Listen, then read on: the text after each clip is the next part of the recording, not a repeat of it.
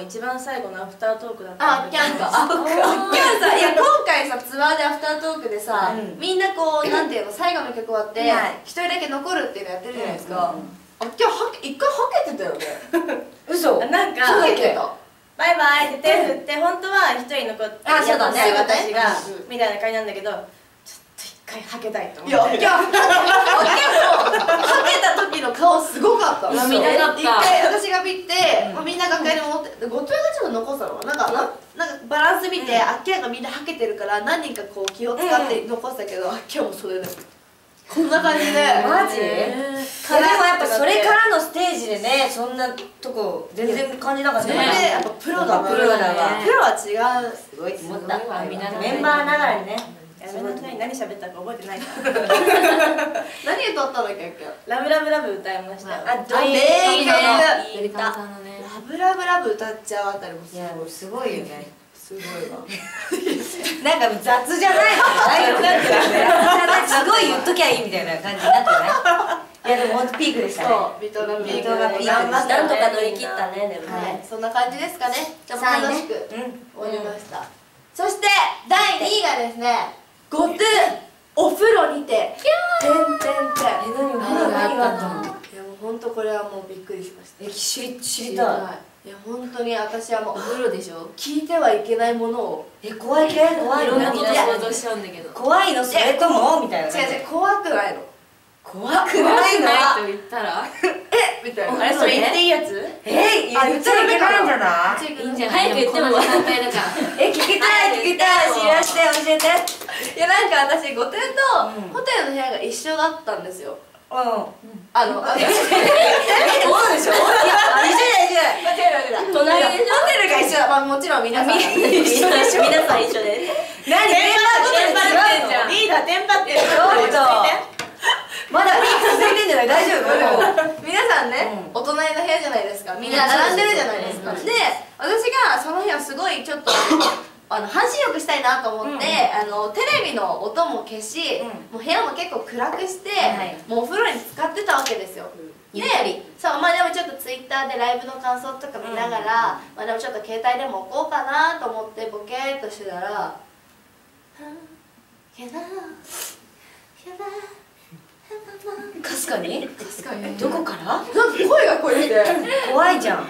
そうなんか怖い。何それ？そそこから突然「秘密だ秘密秘密秘密だよ」みたいな。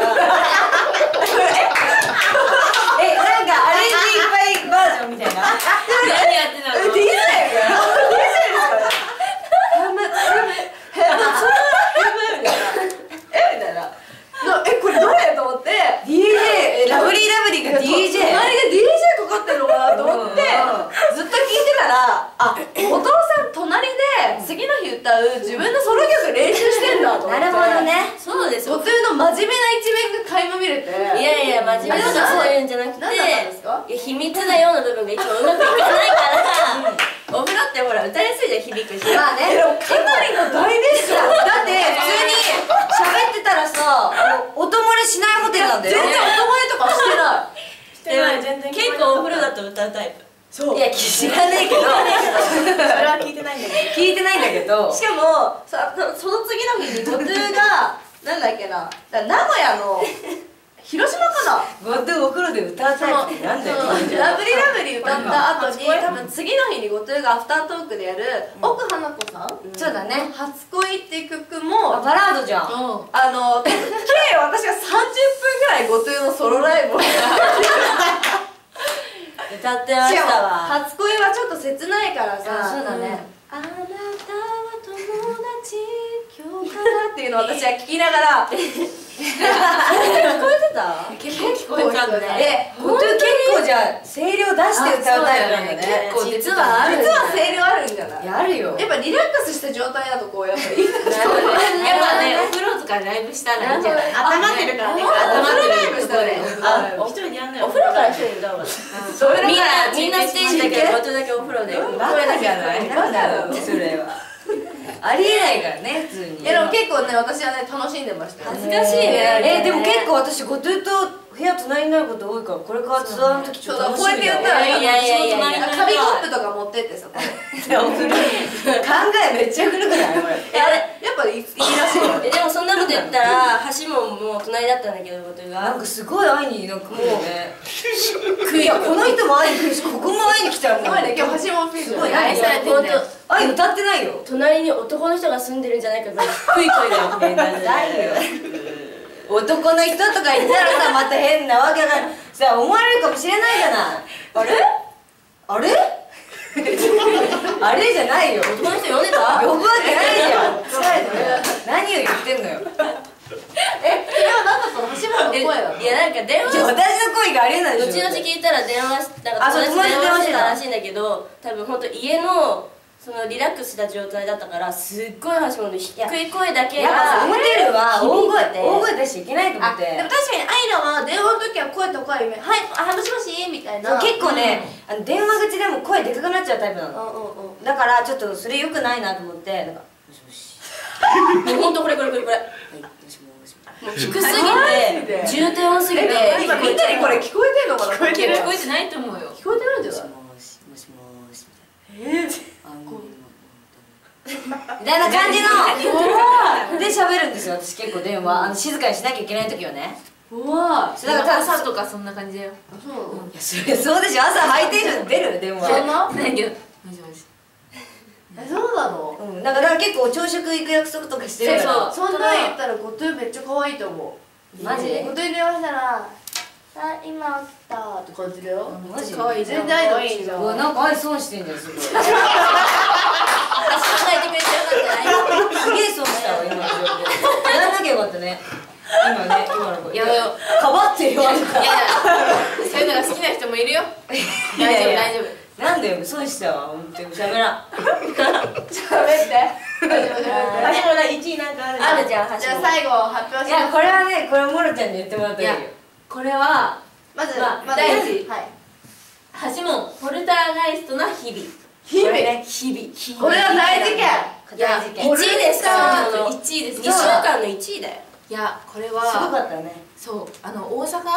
それこそ大阪連泊大阪ね連泊してた時にあのし夜中の4時頃。はい。もう朝方やね朝方4時ぐらいになんか私寝てたんですけどすっごいなんか大きな物音で起きたんですよ。なんかトントントンなんか人が踊ってるみたいな。本当に足も踊ってる寝てるよ4なので私朝4時寝てる寝てる私一番端の部屋であそうだよ、ね、でもこっちのあの左隣いなくても右隣がハシモンだったんで結構距離空いてたよねそう距離空いてたんですけど、でその隣の部屋からドンドンドンパンパンパンみたいなすごい音がして朝4時ねそうでそれでいと思ってたら今度なんか女の人が歌い出すみたいな声が聞こえたんですよ。なんか誰か歌ってるみたいな思って。でも隣アイナしかいないしなと思ってすっごい怖くなってでアイナに「えアイナ今起きてる?」って LINE そう LINE が来たの。そう。で私そう寝てて爆睡しててなんかその時ちょっと金縛りにあったんですよ。お久しぶりに。で結構しかも1回じゃなくて23回あったのその日に。金縛りに。わで1回そんなことだからある2回目ぐらいの時に怖くてあのお部屋の電気をつけたんですよ。でつけてもう一回寝ようと思って寝ててまた金縛りにあってパッて起きた時にこう寝ぼけた状態でピロンってなってそれがモロリンからの LINE でそうで「え起きてる？る?」みたいな。って言ったらそしたら帰ってきて「えどうしたの?」って来たから今すっごい物音を隣からアイナの部屋からしたんだけどで送ったらなんか今私もちょうど金縛りで起きたって。でそれ愛じゃないよって言ったの。うんえでもそうアイナの方から聞こえるよってアイナ隣アイナしかいないしでなんか歌ってる声も聞こえるし。こんなそう朝4時にね踊ったり歌ったりするわけないじゃん普通に。いやなんか明日の練習かなとか思いながら。でみんなガチでね怖いみんなでコメント減ってきたいや本当なのでなんかしかもその日の金縛りは 私金縛りとか今まで本当に前回の去年のツアーで1回だけあそれが人生初めての金縛りで怖くなってトラウマだったんだけどいやでもなんかその人生初めてのトラウマもホテルでそうホテルなの。そうなんかその遠征先のホテルでなんかそうでやめろよ違ういや私いやなんかちょっといや言っていいのかなと思っちゃったんだけどアイナの部屋行った時になんかあちょっと嫌だなみたいな感じだったのえひどいそれ会いに行ってないアイナが金縛りに次の日だ。ったっつってえでその話したよねいやでもここんな愛の日入ってちょっと変な空気とか言わなかったよ言ってなんかこういうやついるよねねこういうやついるよね私でも、ま、霊感全くないんいや私だ。ってないけど全くないけどでもね違うの聞いてこの時のつ今回のツアーの金縛りはなんか本当に夢か現実か分かんなかったの起きた時にでも電気つけてるってことは絶対金縛りにあって怖くてつけてるからあやっぱ金縛りにあったんだなと思ったんだけどなんかやたらと今回の金縛りは上半身のが重くてうん。そう。そう怖かったっていう。もうやばかったです。怖いね。なんかいろいろ怖い。でも なんかいろいろ怖いけどその後はないから私何も。いやでも私昨日その話の次にするのもあれだけど、うんうん。私そのあ昨日か昨日金縛り3回あったからね。で私は会ってない。でもその二人ちょっと関わりたくないちょっと。怖い。いやでも平気だよ平平気もうもう体身軽だから全然大丈夫。怖いの金縛りとかなったことないからないない本当にこ怖いそのうちなる。よいいやいやいや一回なんでや筋肉の硬直そう症そうそうそう。あ疲れてる時になるの。い1回なると2回3回になるそういう話しないでもう。やちょっと1位になっちゃったから。1位になっちゃったからさ。怖いね。そうなんか結構みんなガチで弾いてる？これ。い大丈夫やいやいやでも疲れてるんじゃないっていうそうなんですよね。まあそんなことがねもういろんなことがありましたここにはよ載ってないけどもういろいろありすぎてね。うんだってポッシブのライブと同時にミュージックフェスタもそうです。一緒に回ってますから。あとねイベントとかもあったり新曲イベントも。そう久々にショッピングモールでねイベント。そうですそうです。したりとかしてるから。いやーでもね濃かったね。今までで一番こんだけ全国飛びまあ去年もツアーやったけどうんこうやって短い時間にギュッとなってるのはあんまりなかったからあんまないね。忘れられませんね。うん。いい思い出にな。りいやもう本当に。あの本当に。でもちょっと今さ思っただけちょっと揺れたよね。揺れた。結構しかもコメンまあトでもいやだからなんかこれ触れていいのかいいのかで話の内容となんか いやなんか本当に。怖い話してたら揺れたから怖くなっちゃったよね。地震地震ではないの？え？でもコメント地震やねみんな地震来てたいや地震じゃなかった地震来てなくて揺れてたら怖いでしょ。ねいや。完璧に思われるよ。ねいやもう完全にそれいし決めつきがやばかったのよ見たわ。やめて完璧に呪われてるよみたいな。すごいよね。呪われてないから。大丈夫大丈夫。除霊除霊してるから除霊。大丈夫。除霊みんな気をつけようね。みんな気をつけましょう。本当にということでいや。まあ、そんな全国ツアーの全国ツアーの途中のね、まあ、まだ終わってませんから。まだまだ。そうだよ。今週末？来え今週末かあるよねまた。今週末。仙台。仙台。福島。福島。そして五反田 U ポート。ツアー。ファイナルです。うわ。あと3回。あと3回なのあ本当にもうすぐ終わ。っちゃうねすごい。だってあとあれでしょ？ツアーファイナルのその5月30日まで17日？そう。もう17日よ。早っ。超あっという間なんですから。これめっちゃ怖いですよ本当に、ん。あっという間に。早かったねやっぱでもツアー始まっちゃうとさ。ね。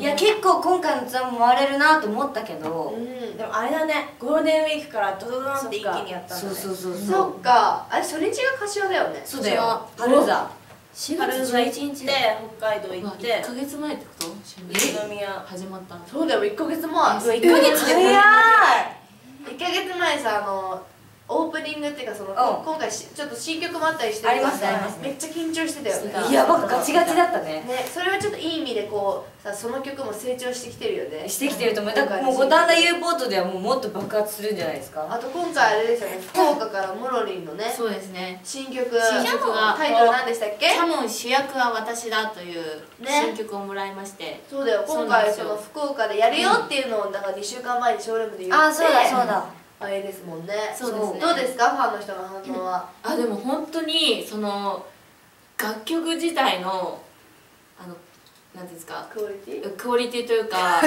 楽曲自体のクオリティすごい上から目線。いやすごくあの 評判がいい。本当に。えだから曲いやまあなんていうか。曲自体がってこあのそう曲の評判がとてもいいです。と曲の？曲の曲の評判がとてえもいい。自分自身は？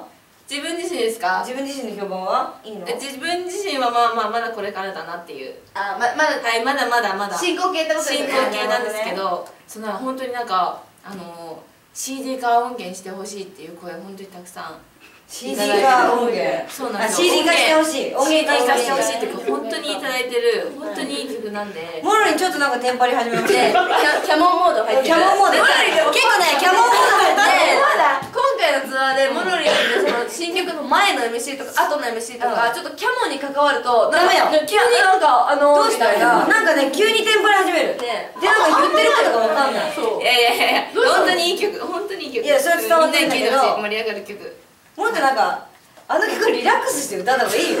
楽しい曲だった。わらかるわかるそれは思う。なんかねバラードとかじゃないしなんかみんなで盛り上がろうぜみたいな感じの曲だからもっと自分自身が一番リラックスして まあラブリーがあんないい顔して踊ってる。そうだよ。確かにだから自分が主役になっちゃうとねちょっとなんかこわばっちゃうんじゃあですよ5月、まあ、次の公演はもっとリラックスして歌おうかなっていう。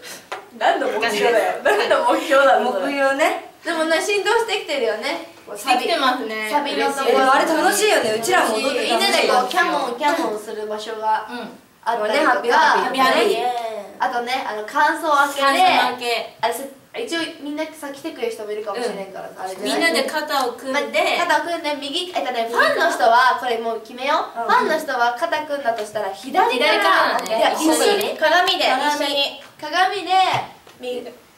人生はきっと絶対素晴らしいんだ。人生はきっと絶対素晴らしいんだっていう歌詞を言ってほしくないもん。そうそう一緒に歌ってほしいんですよ肩組みながら、歌おうよみんな。でみんな歌っていいじゃん。うちらがうちらが肩組んだと思ったら人生今はきっと絶対素晴らしいんだ。いいじゃん。そうでサビはイエイイエイイエイ。ウォーウォーウォーウ。ォーその手はピースじゃなくてモロリのハッピーハッピー。の手で。いいじゃん。ねまだ聞いたことないって人多いんじゃないですか、ね。そうだね。だからいっぱいにいっぱい聞いてほしいですこれから。ぜひ。の方に。ね。5月16日クラブジャンクボックス、はい。仙台ですね。はい。5月17日が、えー、と福島。うん。ヒップショットジャパン、はい。そして5月30日が五反田 U ユーポートもうね。ツアーファイナルですよ。ユーポートホール。でも結構時間ないね。ちょっとやばいね